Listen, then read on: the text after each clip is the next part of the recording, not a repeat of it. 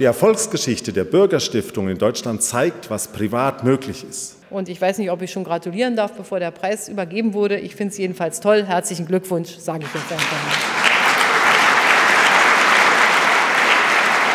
Schenken Sie den Preisträgern dieses Jahres äh, Ihre Aufmerksamkeit. Ist das genau die Bürgerstiftung, das mir gibt, was ich eigentlich gerne möchte. Ich bin dort eingeladen gewesen, habe sehr nette Leute kennengelernt, habe gesagt, da bin ich richtig.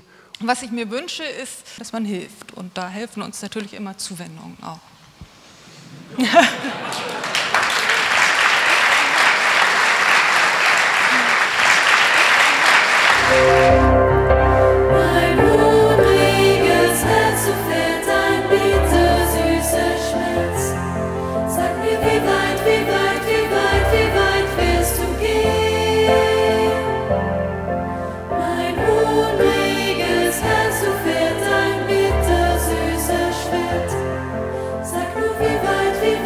divine